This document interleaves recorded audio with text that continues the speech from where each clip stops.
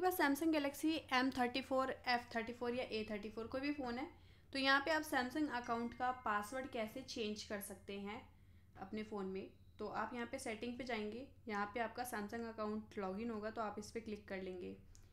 इसके बाद यहाँ पे आपको सिक्योरिटी एंड प्राइवेसी का ऑप्शन देखने को मिलेगा। अगर पासवर्ड सेट नहीं है तो ऐसा आएगा तो आप इस पर क्लिक कर लेंगे। और यहाँ पे पासवर्ड के ऑप्शन पे ऐसे कलर ऑरेंज कलर का मार्क आएगा तो आप इस पर क्लिक कर लेंगे। ठीक है? और यहाँ पे गो टू इनबॉक्स पे क्लिक कर लेंगे। कंटिन्यू तो यहाँ पे ना, आपको अपना अकाउंट साइन इन करने के लिए बोल रहा है। तो जिस भी अकाउंट से लिंक है, वो अकाउंट साइन इन कर देंगे यहाँ पे।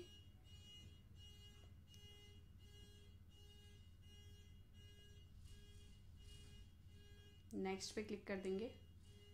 और अपना पासवर्ड एंटर कर देंगे यहाँ पे। पासवर्ड एंटर कर दिया, इसके बाद नेक्स्ट पे क्लिक कर देंगे।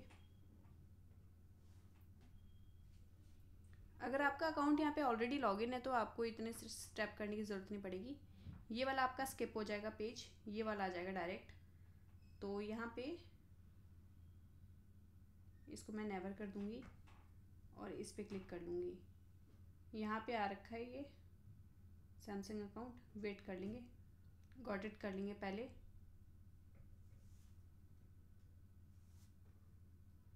कट कर देंगे। अब यहाँ पे सैमसंग अकाउंट की तरफ़ से आपको ऑप्शन मिलेगा ये वाला। आप इस पर क्लिक करेंगे। सैमसंग अकाउंट रजिस्टर्ड पासवर्ड इस पर क्लिक करना है।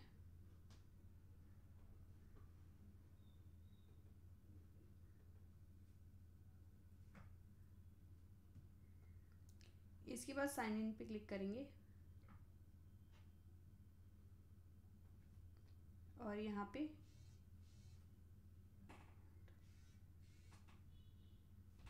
ओके कर देंगे।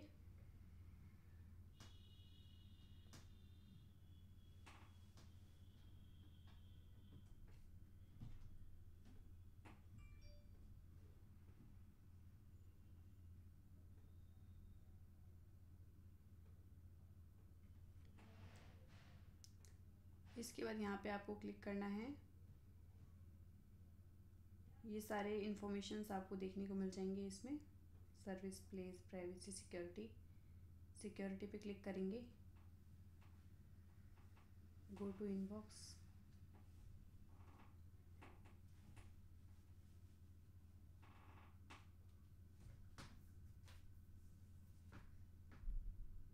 इस पे क्लिक करना है।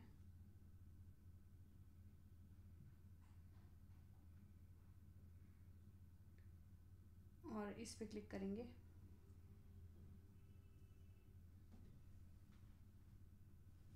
अब यहाँ पे आपको अपना नया पासवर्ड जो भी आपको सेट करना है उसको सेट करेंगे।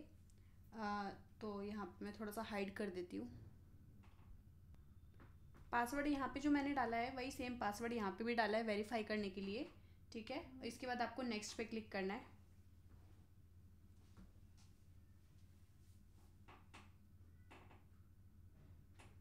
और यहाँ पे इस पे क्लिक कर लेंगे।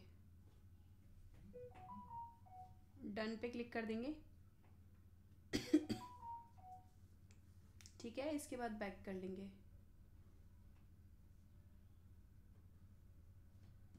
अब दोबारा से सेटिंग खोलेंगे, इस पर क्लिक करेंगे। Security and privacy.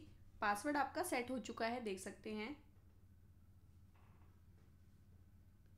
यहाँ पे आ चुका है।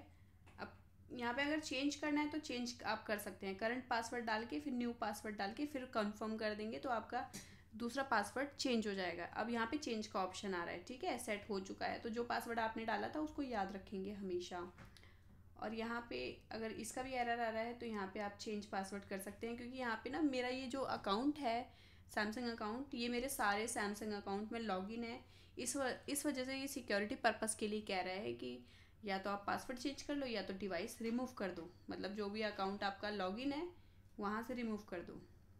तो ये सब मैं अभी नहीं करूँगी, इसके लिए मैंने बैक कर दिया। देख सकती हैं, ये हो गया है। कोई दिक्कत नहीं है।